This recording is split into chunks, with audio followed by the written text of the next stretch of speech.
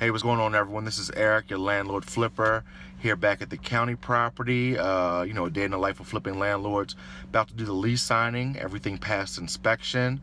Uh, I'm going to be collecting uh, my fee as well, which is $1,500. Well, actually, I'm not going to be collecting the whole fee. The tenant only has 900 so I have an addendum to the lease that states that they're going to be uh, making $100 payments each month for the next uh, six months for my fee uh, to me directly and uh, the property owner is well aware of this. Also, the house got approved for $1,551, 100% paid for by the government subsidy. So landlord is definitely ecstatic about that. So I uh, just want to share this information with you. Talk to you soon.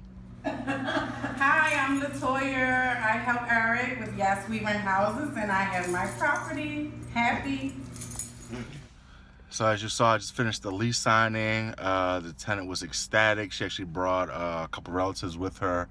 She was so excited. Got the referral video that, uh, not for a testimony video that you, you know, will see. Um, lease completed. Got some money. On to the next deal. Flipping landlords. Talk to you soon.